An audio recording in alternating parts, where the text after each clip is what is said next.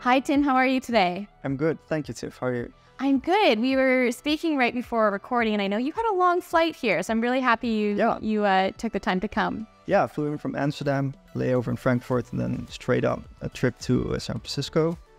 Yeah, quite a long haul, but uh, I'm happy to be here. That's great. And uh, is there anything in particular that you're looking forward to the most tomorrow at Netlify Compose? Yeah, the composable architecture that Netlify is building right now, I think that's very interesting because unifying content or data all, all into one place is something, yeah, that's really interesting and could help the company I work for, the ANWB, quite a lot. Exactly. Well, on that note, um, I would love to hear more about yourself Sure. uh, and your role. Yeah, I'm a web developer from the Netherlands. I've been doing it for yeah quite a while, different companies, different agencies, and stuff like that. And now working at the ANWB, which is like the Dutch equivalent of the triple A, triple A here in the US. That's great. I like the the example for for the U.S. watchers. Yeah.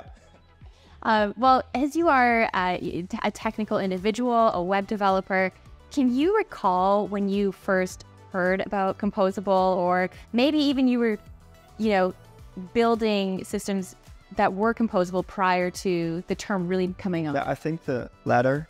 I did not hear the label composable until I arrived here, basically, or when I got the email from you. But yeah, managing and unifying data is something that we as developers always try to achieve. So that concept is not that foreign to me, but having um, like a, a structure behind it, that's new.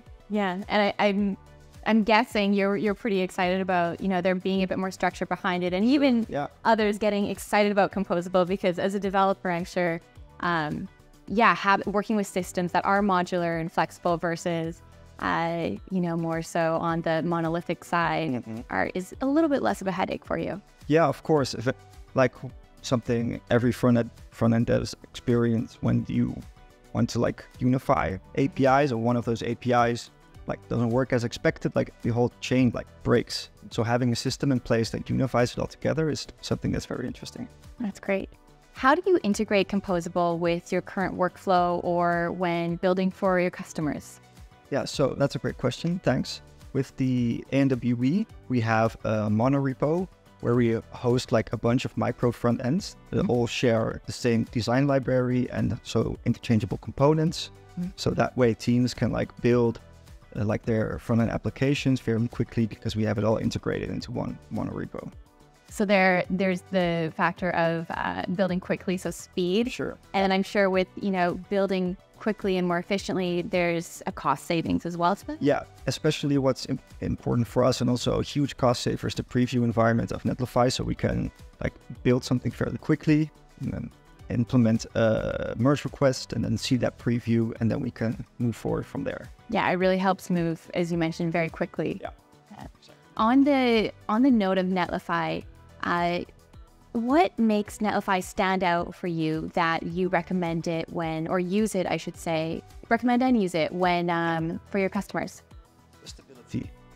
Yeah, uh, we've noticed it's incredibly stable and the user interface is also really good. Like even for developers, sometimes the, the front end devs like me find DevOps stuff hard and the the user interface feels like pretty intuitive. So it's easy enough for us to work with and uh, provides the tools we need. That's really great to hear. I mean, from anyone, that's really great to hear, but from a developer's perspective, I think it's so key because, you know, developers, I can say this because I used to be a developer, can be very critical, rightfully so. You know, you're dealing with a lot of tools, there's a lot of options out there. So I love that one word, stability. Thank you so much for sitting down and chatting with me today. Awesome.